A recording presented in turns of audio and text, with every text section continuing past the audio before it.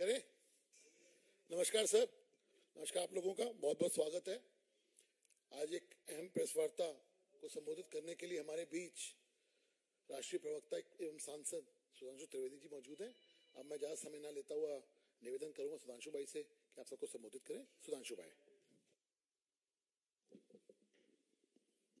भारत की राजनीति में नई राजनीति और तथा कथित रूप से शुचिता के स्वयंभू अलंबरदार पार्टी का रंग अब एक के बाद एक तथ्यों के सामने आने के बाद उतरता चला जा रहा है। दारू के एक बोतल के बदले में दूसरी बोतल देने से लेके घर की साज सज्जा तक, और अब हाल ही में जो समाचार आए हैं कल न्यायालय के माध्यम से, जिसमें यह तथ्य भी सामने आ रहे हैं कि अब जो कुछ बातें उन लोगों ने बंद कमरों में की थी, अब वो सार्वजनिक होती जा रही हैं और न्यायालय के समक्ष भी आती जा रही हैं।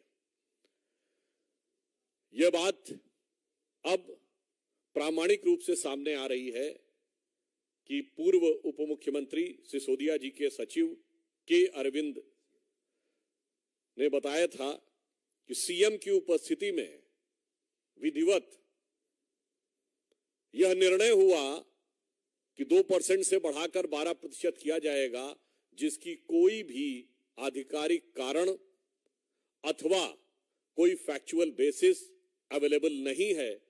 इसलिए हम यह पूछना चाहते हैं कि कट्टर ईमानदार के अजीबोगरीब किरदार श्री केजरीवाल जी, कृपया ये बताएँ कि वो दो से बारह परसेंट का निर्णय चूँकि अब यह बयान में आ चुका है तो आपने कब, कैसे और किन नियमों के आधार के ऊपर लिया था? फिर इतना ही नहीं है, यह भी बात आई है कि समीर महेंद्रू से केजरीवाल जी की बात हुई, बात कराई गई और उनसे एक प्रकार से संकेत आया कि जो ये कह रहे हैं वो करना है। तो अब अगला प्रश्न दिल्ली की जनता ये पूछना चाहती है कि मान्यवर, ये बात किस आधार पे हुई और किस लिए आपने कहा किसी बाहरी व्यक्ति के लिए कि ये जो कह रहे हैं वो करना है?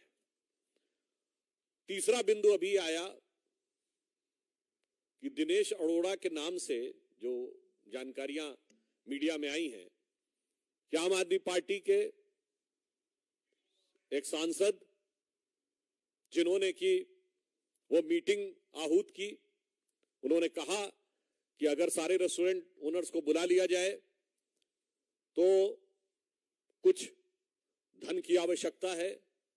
और ऐसा बयान आया है कि सारे ओनर्स को बुलाया गया और एक निश्चित धनराशि इकट्ठा की गई और उसके एवज में सरकार ने यह कहा कि रेस्टोरेंट्स की टाइमिंग में परिवर्तन कर देंगे।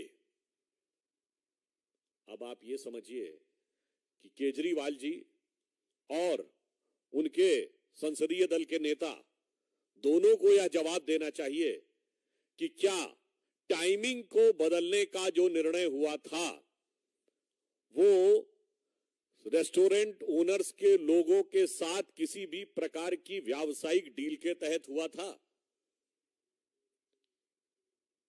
यह उत्तरोत्तर बात स्पष्ट होती चली जा रही है एक के बाद एक फैक्ट के साथ कि अब पैसे का इन्वॉल्वमेंट कमीशन बढ़ाने से लेके, सरकार के राजस्व को सेक्रीफाइस करने से लेके, सीधे रेस्टोरेंट के ओनर्स के साथ धन इकट्ठा करने तक के आरोप आते जा रहे हैं।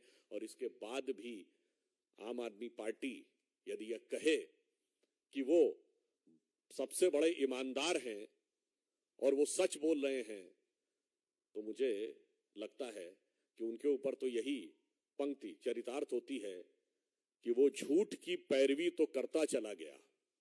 वो झूठ की पैरवी तो करता चला गया, लेकिन बस उसका चेहरा उतरता चला गया। धन्यवाद। एनी क्वेश्चन जी अनु जी आप बोल दो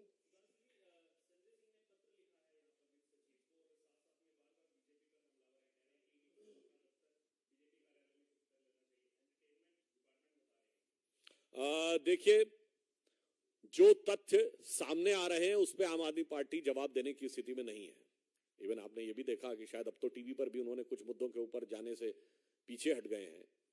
तो मुझे लगता है कि इस समय इस प्रकार के निरर्थक, अनर्गल आरोप जिसको कि वो लगाने में, ये वो आदतन लगाते हैं, फितरतन लगाते हैं, शरारतन लगाते हैं। इसके अलावा उनके पास अब कोई विकल्प नहीं बचा है। और वैसे भी कोई नई बात नहीं, आम आदमी पार्टी अनेक बार अनेक प्रमुख लोगों पे आरोप भी लगा चुकी है और माफ़ी भी मांग चुकी है। तो मुझे नहीं लगता है कि जो उन्होंने कहा एंटरटेनमेंट की बात, आम आदमी पार्टी के किरदार को अब कोई गंभीरता से नहीं लेता है, बल्कि उनके अगर पूरे पिछले कुछ वर्षों के इतिहास को देखें तो उसमें अचंभित करने वाला इंटरटेनमेंट नज़र आएगा।